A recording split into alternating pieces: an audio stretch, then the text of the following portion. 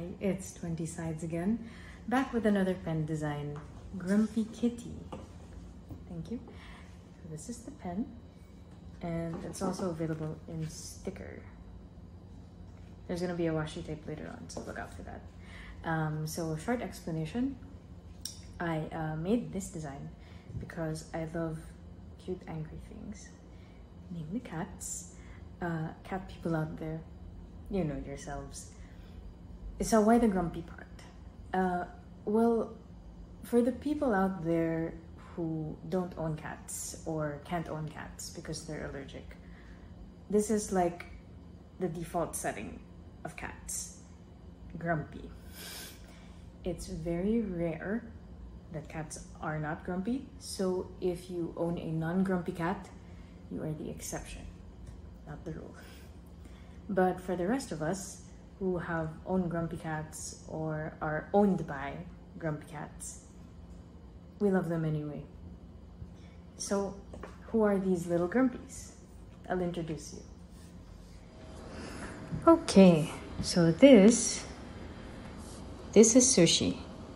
Sushi is grumpy because she didn't get fish today. And this one is Pepper. Pepper is grumpy because she didn't want fish today. This is Noodle. No, Noodle is grumpy. I mean, he Noodle really likes yarn, but Noodle is grumpy right now because he actually hates pink.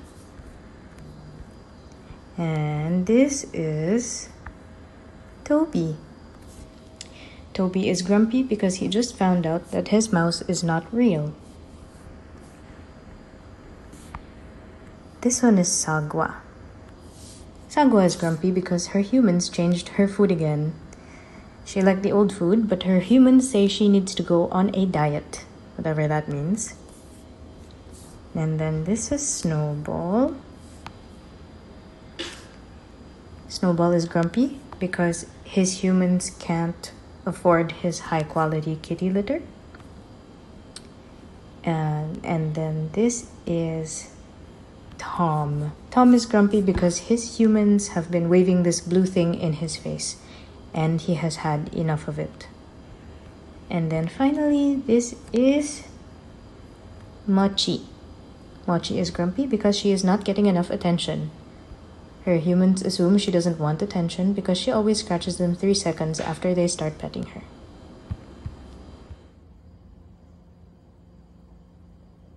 Are we on? Okay, so there you go. All the little grumpies uh, featured on the Grumpy Kitty pen and on the stickers.